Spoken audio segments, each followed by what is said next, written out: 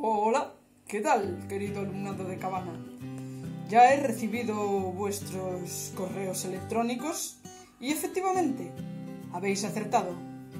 El libro, bueno, el tratado, digamos, en el que expongo toda mi teoría sobre la comedia nueva es el arte nuevo de hacer comedias en este tiempo.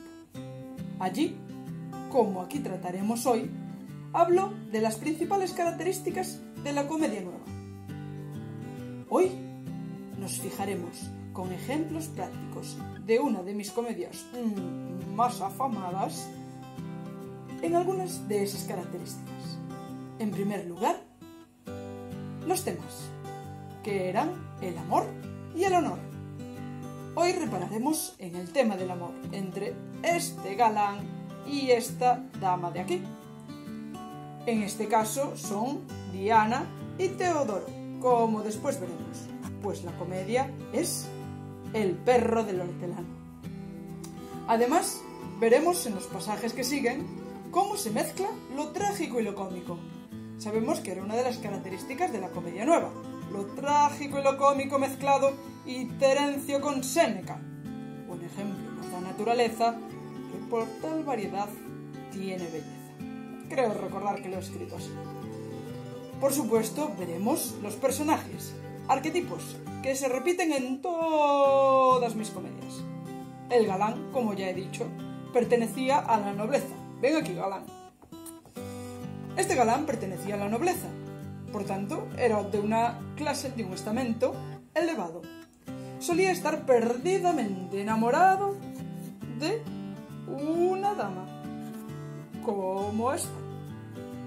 La dama también pertenecía a la nobleza, por tanto su forma de hablar, igual que la del galán, era elevada, a diferencia, por supuesto, de mi personaje preferido y el personaje preferido del público, la figura de donaire, es decir, el gracioso, que actúa como contrapunto del galán. El galán es noble, el gracioso pertenece a una clase, a un estamento bajo, humilde. El galán tiene un lenguaje elevado, el gracioso todo lo contrario. Y toda esa seriedad y sufrimiento del galán se ve, por supuesto, contrastada con las necesidades básicas del gracioso. Comer, beber, pasárselo bien y hacer reír al público. y finalmente veremos que en todas mis comedias siempre el estilo era, como sabéis, claro y sencillo, para que todo el mundo lo entendiese, porque, como las paga el vulgo, es justo hablarle en necio para darle gusto. Muy bien, hoy os dejaré con dos pasajes de mi comedia palatina, El perro del hortelano. ¿Que por qué se llama comedia palatina? Porque el contexto donde estaba ubicado era en el palacio, a diferencia de aquellos corrales de comedias que hemos visto el otro día. Con todos vosotros, os dejo a Teodoro, a Diana y a Tristán. ¡Que empiece el espectáculo!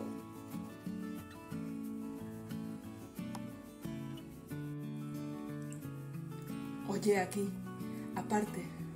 Aquí estoy, a tu servicio. Teodoro, tú te partes, yo te adoro. Por tus crueldades me voy. Soy quien sabes. ¿Qué he de hacer? ¿Lloras? No, que me ha caído algo en los ojos. Si ha sido amor. Sí, debe de ser. Pero mucho antes cayó y ahora salir querría. Yo me voy, señora mía, yo me voy, el alma no.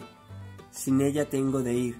No hago al serviros falta, porque en morsura tan alta con almas se ha de servir.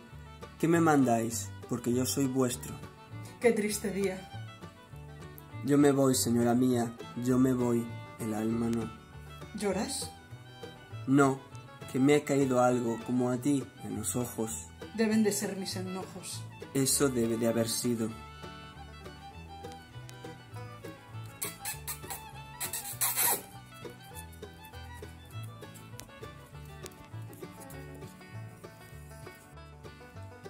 Yo me he de casar contigo.